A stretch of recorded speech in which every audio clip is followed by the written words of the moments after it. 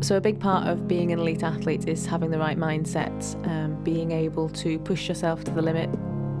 Before I go out, it is about putting everything else out of your mind and focusing on the process.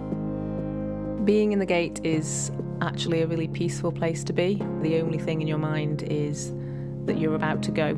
Everything else is gone. The training, the the study, the physiotherapy work, you learn very quickly to cut out the collateral or the white noise or the, the time thieves, the things that you don't need. I think you learn a lot about yourself when you put yourself in high pressured situations. Obviously, sport is just that. My name's Ellie Richardson. I'm studying an MSc in Advanced MSK Physiotherapy. I'm a track sprint cyclist, I ride for Team Scotland, and I'm proud to be an MMU Sports Scholar.